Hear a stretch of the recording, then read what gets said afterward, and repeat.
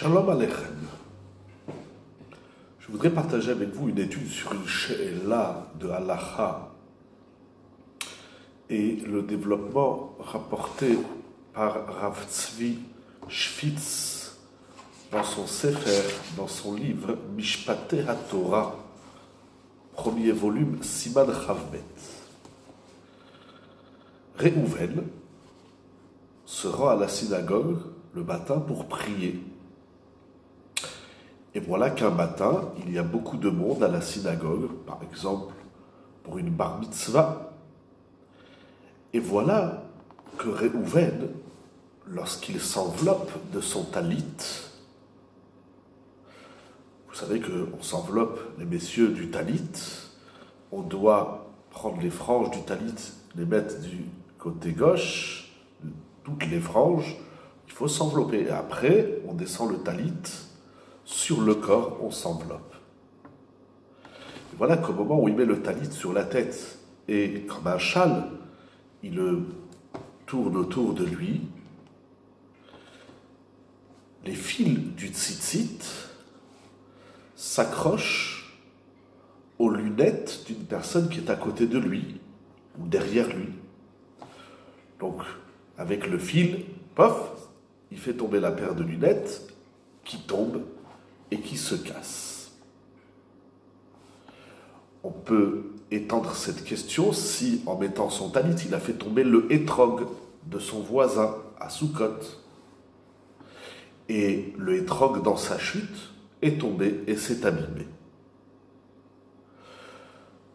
Bien évidemment, le propriétaire du hétrog ou de la paire de lunettes se tourne vers lui et dit Tu m'as cassé ma paire de lunettes, il faut que tu rembourses. Seulement, Réhouven prétexte deux choses. Premièrement, je suis en train de faire une mitzvah, je mets mon talit. Deuxièmement, la synagogue, il y a du monde, on se trouve dans un endroit étroit.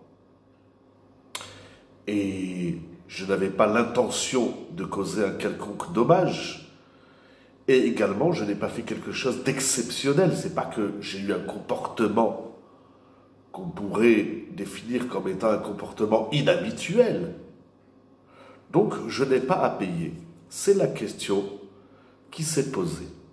Rav rappelle la Gemara au traité Baba Kama d'Afrava Vamudalev qui nous donne une grande règle. Adam Murat Leolam.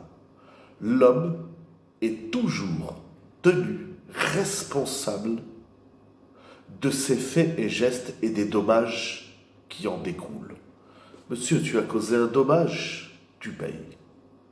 Et même si on cause un dommage sans avoir l'intention, c'est pas que je prends l'objet de l'autre et que je veux l'abîmer, il m'énerve, ou bien je veux faire un essai scientifique ou je sais pas quoi. Celui qui a l'intention d'abîmer, bien évidemment, qui doit rembourser. Mais les maîtres nous enseignent, et c'est comme ça dans la halakha, une personne qui cause un dommage, même si ça n'est pas dans son intention, c'est-à-dire je fais, je mets mon talit, mais voilà qu'en mettant mon talit, j'ai fait tomber l'objet d'autrui et je l'ai abîmé. Je suis responsable du dommage qui est causé. Premièrement, même si je n'ai pas l'intention. Deuxièmement, même si je n'ai pas eu un comportement différent, je n'ai pas eu un comportement exceptionnel, je me suis comporté normalement, mais de se comporter normalement, ça ne dispense pas l'homme du dommage qu'il a causé. D'autant plus, rappelle Rav Schwitz, c'est que nous voyons bien que dans cet endroit, même s'il est étroit et qu'il y a du monde, ce n'est pas tout celui qui a mis le talit qui l'a endommagé, qui l'a blessé ou qui l'a causé un quelconque dommage c'est à toi, lorsque tu mets ton talit, de faire attention aux autres fidèles de la synagogue. Au nom de la mitzvah également, on n'est pas dispensé d'un dommage. n'est pas parce qu'on est en train de réaliser une mitzvah qu'on a le droit de se comporter de façon nuisible à notre entourage. Il faut faire très attention, par exemple aussi, à Soukot avec le loulav, quand on secoue le loulav, il faut faire attention de ne pas causer des dommages. À avec la Hanoukia, la menorah, il y a eu plein de chélotes dans la une personne qui a allumé sa menorah, et puis voilà, il a causé un feu, il a endommagé le bien d'autrui. Au nom d'une mitzvah, on n'est pas dispensé des dégâts qu'on cause. On est tenu responsable, bien évidemment, à part quelques exceptions qu'il y a dans la mais de manière générale, on est tenu responsable des faits et gestes et des conséquences nuisibles et on est tenu responsable. Donc on doit rembourser la paire de lunettes ou tout objet qu'on aura abîmé, même si on n'a pas eu l'intention, même si on n'a pas fait, si on n'a pas un comportement exagéré, et même si c'est dans un endroit étroit, tout cela n'est pas suffisant pour dispenser celui qui a abîmé et causé un dommage au bien d'autrui.